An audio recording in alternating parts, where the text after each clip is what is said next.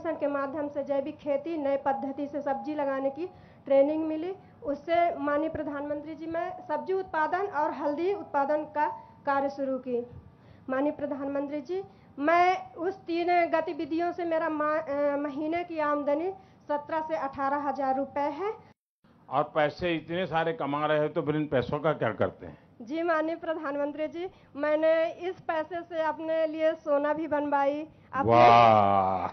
अपने हस्बैंड के लिए जो पहले साइकिल से हमको भी लेके जाते थे ब्लॉक वहाँ जाना पड़ता था बैंक तो साइकिल से जाते थे। उनके लिए टू व्हीलर भी ली। आपके आने से इतना मैं खुश हूँ कि मैं दो घंटे भी बताऊँगी तो बता ना पाऊँगी। और माननीय प्रधानमंत्री जी मैं तो दिन में तो देखती सपने लेकिन रात में सोने में भी मैं आपको ही देखती थी। और जिस दिन कार्यक्रम कैंसिल हुआ था देखिए आप जैसी दीदी का आशीर्वाद आप जैसी मातृशक्ति का आशीर्वाद वही मेरी सबसे बड़ी ताकत है।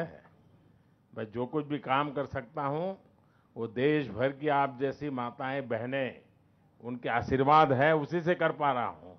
जिस दिन मुझे मैसेज मिला कि कार्यक्रम कैंसिल हो गया उस दिन तो खाना ही नहीं खाए थे। अरे रे रे रे। लेकिन मैंने वादा किया था कि मैंने कहा है तो मैं आऊँगा। हमारी गारंटी मैंने पक्की होती है।